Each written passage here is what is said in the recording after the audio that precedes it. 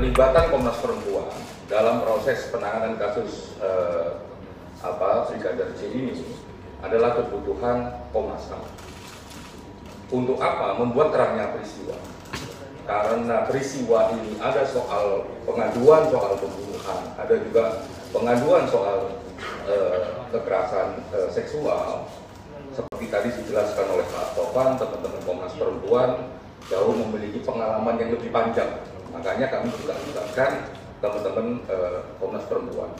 Termasuk di kami ada Bu Sandra yang juga punya pengalaman panjang soal kasus-kasus eh, terkait itu. Makanya kami juga eh, mempercayakan tim ini untuk bekerja di konteks UPC ini itu eh, yang mewakili Komnas HAM nantinya eh, di samping memang Bu Sandra lah sebagai eh, PIC. Jadi nggak ada mendorong ini mendorong itu. Yang kami lakukan adalah membuat terangnya peristiwa.